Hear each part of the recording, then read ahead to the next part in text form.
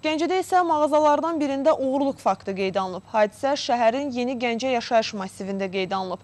Ərzaq mağazasına müştəri qismində gələn təxminən 30 yaşlı şəxs mağaza sahibi Sueddin Əhmədliyə məxsus mobil telefonu uğurlayaraq aradan çıxıb. Baş verən hadisə mağazada quraşdırılan müşahidə kamerasına an-ban düşüb. Faktla bağlı araşdırma aparılır, hadisəni törətməkdə şübhəli bilinən şəxsin axtarışlar aparılır.